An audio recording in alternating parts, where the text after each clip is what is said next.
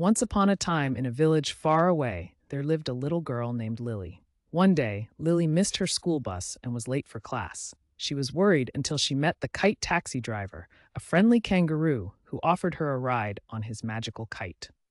As they flew through the sky, the kite taxi driver told Lily stories of kindness and friendship. Picture Lily running after the school bus. Picture Lily meeting the kite taxi driver. Lily riding on the magical kite with the kite taxi driver. Picture the kite taxi driver sharing stories of kindness. Picture Lily helping an old lady cross the street. Picture Lily sharing her lunch with a hungry squirrel. Picture Lily returning a lost puppy to its owner. Picture the kite taxi driver smiling proudly at Lily's good deeds.